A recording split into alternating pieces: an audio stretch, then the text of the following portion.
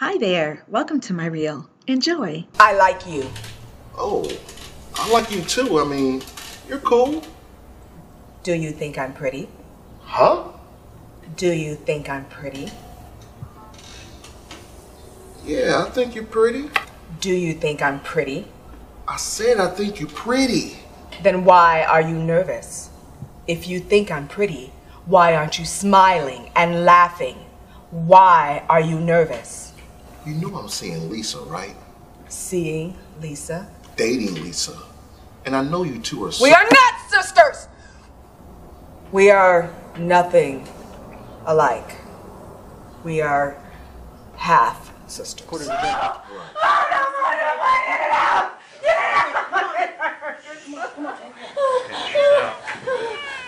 Come on, don't be that way, baby. This your baby. I don't want to get it away from me. Look, I'm just trying to get you back. Is it working? Tony, I appreciate everything you've done. You made us dinner, company was wonderful, you have a beautiful home. You know I love talking to you. But I'm just not ready to pack up everything I'm doing right now. We haven't been together in years. Look, I'm not asking you to pack up. I just want to be a part of what you're doing. Tony, you know, that was always your problem. You always want what you want when you want it. You didn't you didn't even ask me if I was seeing someone. I mean, what are you talking about? Being here with you made me realize that I am not ready for a serious relationship.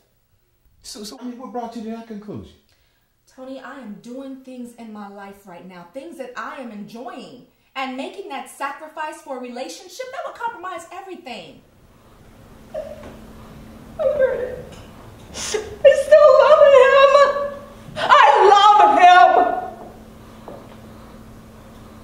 I don't know why he's doing this. I don't know why, and I'm so confused. And I just. Where? Where's the man I fell in love with, huh? Where is the man that would tell me I am beautiful? He's not gone. He's not gone. I know he's in there somewhere. He's in there and he loves me. Thank you so much for watching my reel. I'd love an opportunity to work with you.